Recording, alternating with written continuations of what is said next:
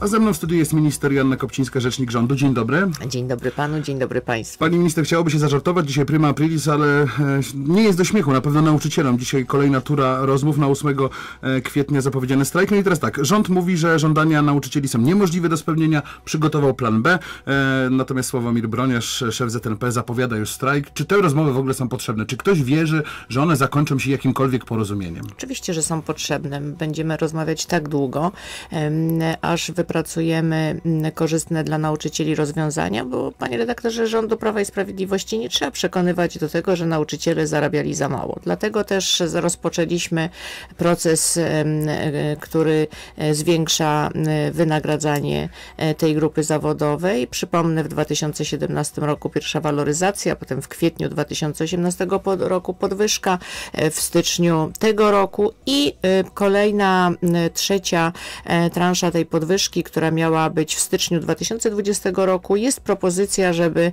trafiła do nauczycieli już e, we wrześniu. Oprócz tego proponujemy zachętę dla nauczycieli e, stażystów, czyli ty- s- 1000 zł na start, e, dodatek stały dla nauczycieli, którzy wyróżniają e, się wykonywaną pracą, 500 zł i inne rozwiązania. Co chcę przez to powiedzieć? No, jest to, że my zaraz po objęciu władzy em, nie potrzebowaliśmy strajków, protestów, żeby zauważyć, że wynagrodzenia nauczycieli nie są wystarczająco No tak, ale wysokie. nauczyciele mówią w Ale- ten sposób. 25 lat tak naprawdę nic się nie działo z pewnymi korektami, z pewnymi podwyżkami.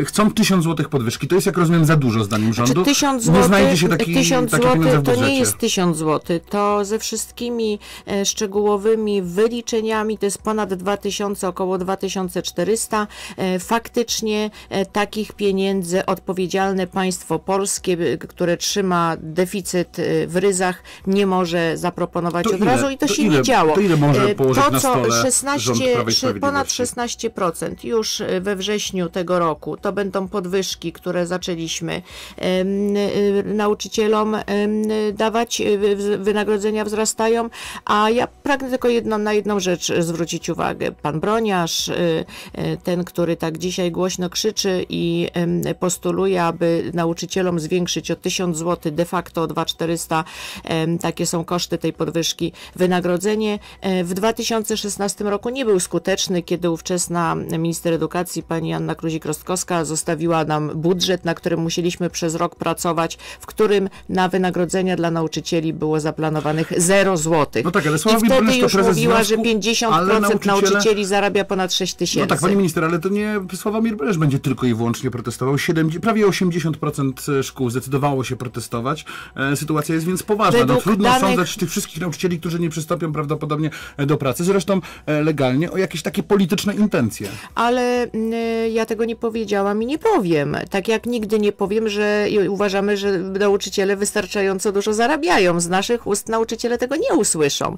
Ja tylko apeluję, że jeżeli pan Broniarz, który jednak jest twarzą tego protestu, prezesem Związku Nauczycielstwa Polskiego, faktycznie dba o dobro nauczycieli, to trzeba wypracować taki e, mechanizm wzrostu, harmonogram wzrostu tych podwyżek, który nie będzie w żaden sposób nikogo stawiał w niezręcznej sytuacji, bo panie redaktorze, według Ministerstwa Edukacji Narodowej w 52% szkołach e, nie przeprowadzono referendów strajkowych.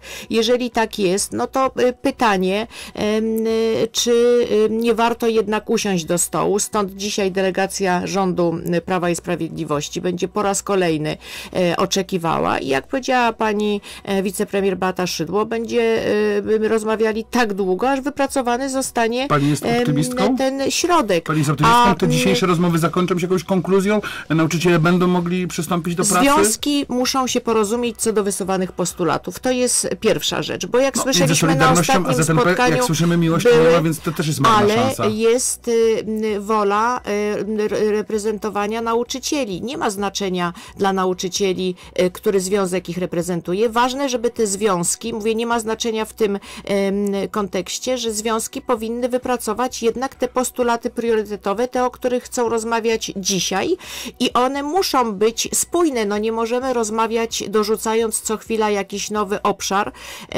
a już absolutnie niegodne, niewłaściwe i naganne jest to, co próbował zrobić pan Broniarz, któremu wtedy trudno powiedzieć, że to nie był protest polityczny, polityczny, gdzie w ten protest osób dorosłych y, próbował wciągnąć Mówi pani o dzieci. tych słowach, że E, w że nie będzie promocji, dokładnie, nie będzie promocji, nie będzie egzaminów, absolutnie do tego doprowadzić Zobaczymy, nie możemy i czy Prawo i. Sprawiedliwość rząd ma, gdyby nawet nie doszło, chociaż liczymy, że dojdzie, chce uspokoić wszystkich uczniów, przede wszystkim i ich rodziców, ale również zaniepokojonych nauczycieli, bo nauczyciele troszczą się o swoich wychowanków, boją się też o ich Jest przyszłość. Te B, egzaminy rozumiem, tak? będą w Odbędą się terminie, odbędą się w terminie. Pani minister, sięgam do Newsweeka, a tam o rekonstrukcji rządu. W kwietniu ma dojść do, do rekonstrukcji e, rządu, zdaniem e, dziennikarzy tego e, tygodnika. Tuż przed wyborami stanowiska mają stracić ci- ministrowie, którzy biorą udział w kampanii wyborczej, którzy chcą dostać się do Europarlamentu, plus Teresa Czerwińska, minister finansów. Czy to prawda?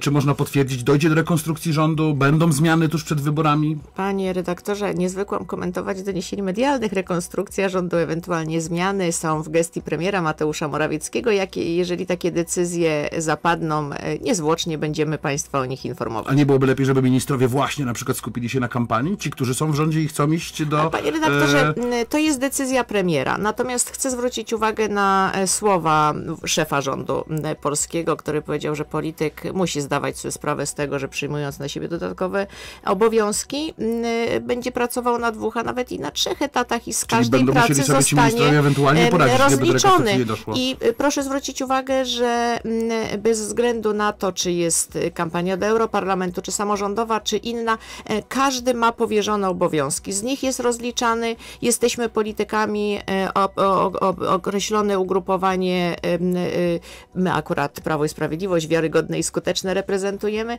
i proszę każdego z nas rozliczać z wykonanej pracy, z tego, jak wypełniamy swoje obowiązki, ale e, oczywiście rekonstrukcja e, to decydujący głos premiera Mateusza Morawieckiego. To jeszcze na koniec, kiedy rodzice mogą się spodziewać e, pierwszych wypłat e, 500 plus na pierwsze dziecko? W lipcu. Wnioski już w lipcu, w sierpniu, ale no, można przeczytać, że dopiero wypłaty w październiku. Ale nieprawda. To zależy od sprawności samorządów i dlatego my, żeby samorządy nie opóźniały wypłat y, y, na 500 plus y, na pierwsze dziecko rodzinom, wprowadziliśmy taki zapis, proponujemy w ustawie 30 września. To jest taki e, czas, y, y, że tak powiem, ostateczny dla samorządów, żeby rozliczyły te wnioski. A one są Ponieważ, gotowe na to, żeby te ale pieniądze dlaczego? wypłacić? Oczywiście, że tak. No przecież y, 500 plus y, to jest No, rozszerzenie nie jest tak to de facto program. Programu. program- On już działa, funkcjonuje, są No, ale ci tych sami wniosków będzie więcej, bo nie ale nie ma są- kryteriów dochodowych, także sprawa jest naprawdę prosta. Jeżeli samorządy będą chciały współpracować, a przede wszystkim dbać o swoich em, obywateli, no, uporają się z tymi wnioskami w terminie. Ja chcę uspokoić wszystkie rodziny. Jeżeli wniosek nawet zostanie zło- złożony w sierpniu, e, dostaniecie Państwo te pieniądze z wyrównaniem od lipca. Od lipca można składać wnioski i należy składać albo do gminy, albo w wersji elektronicznej, w przeciwieństwie do innego naszego programu Emerytura Plus. Tu w maju ruszają wypłaty, emeryci, renciści nie składają wniosków, a pieniądze 1100 zł brutto emerytury plus dostaną. Czyli jeszcze przed końcem wakacji trzymamy za słowo, dostaną rodzice pieniądze. Dziękuję bardzo. Moim i Państwa gościem była minister Joanna Kopcińska, rzecznik rządu. Dziękuję bardzo. Dziękuję panu, dziękuję państwu.